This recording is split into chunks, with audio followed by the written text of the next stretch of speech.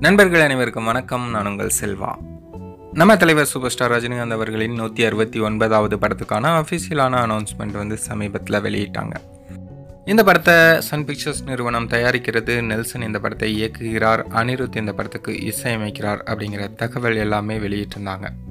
மேலும் தலைவரோட இந்த நூற்றி அறுபத்தொம்பதாவது படத்தில் பணியாற்றக்கூடியவங்களாம் யார் அப்படிங்கிறத விரைவில் சன் பிக்சர்ஸ் நிறுவனம் அறிவிப்பாங்க.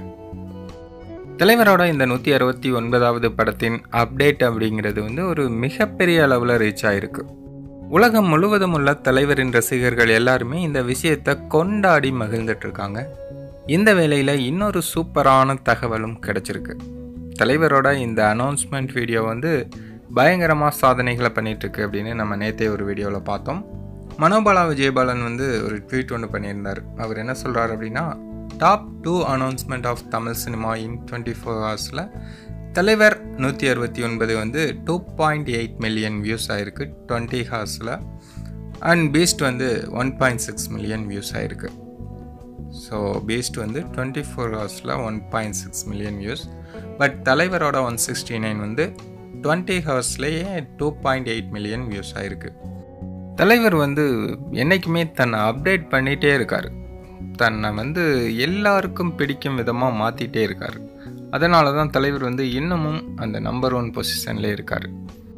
தலைவர் கூட தலைவருக்கு அப்புறமா அல்லது தலைவருக்கு முன்னாடி நடிக்க வந்த நிறைய நடிகர்கள் வந்து இப்போ சினிமா ஃபீல்டில் இல்லை. அந்த அளவுக்கு எல்லாருமே ஒரு காலகட்டத்தில் மக்களுக்கு சலிக்க ஆரம்பிச்சிட்டாங்க. ஆனால் சலிக்காத ஒரே மனிதர் ஒரே நடிகர் அப்படின்னா அது நம்ம தலைவர் தான். அமிதாப் பச்சன் கூட ஒரு காலகட்டத்தில் அவர் கேரக்டர் ரோலுக்கு மாற ஆரம்பிச்சிட்டாரு.